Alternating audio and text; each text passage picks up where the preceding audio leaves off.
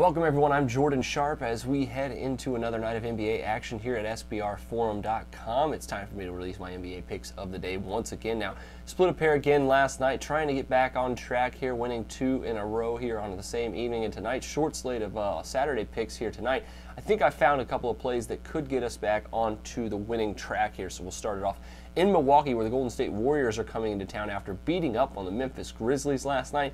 Warriors come in as a four and a half to five point favorite with a total of between 198 and 199 points, depending on which book you're looking at now. And this one, I think the total actually has a lot more value than the spread here. The Warriors, I think, are a little bit of a trap coming off the back to back because they could rest some players, even though the only player they have announced so far is going to rest here is Andre Iguodala, which shouldn't mean too much. But they could announce some later in the day, so keep an eye on that. But I think the over could have a lot of value instead here.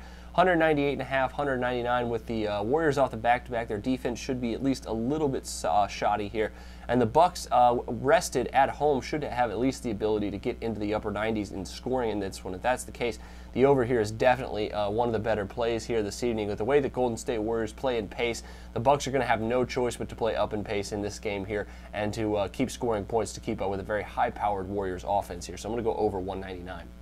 Next one, half Warriors, the Oklahoma City Thunder heading into Utah to play the Jazz tonight.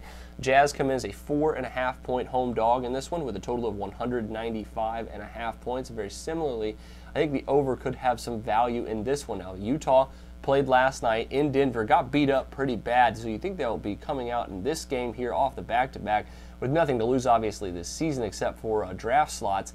And uh, probably come out and uh, try to play the Oklahoma City Thunder pretty solid here. I think the Thunder, with uh, their, their, their injuries right now, the news of Kevin Durant, they're probably going to be a little bit deflated, which means their defense might not be as engaged as it normally would be.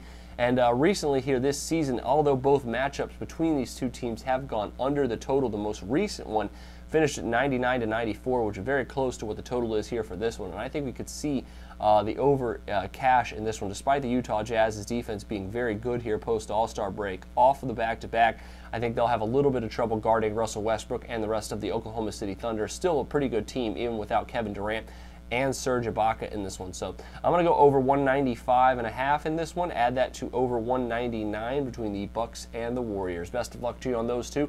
Make sure you check out my article as well for some more trends and analysis of these picks. But until then, I'm Jordan Sharp, and this has been another edition of the Sharp Pick.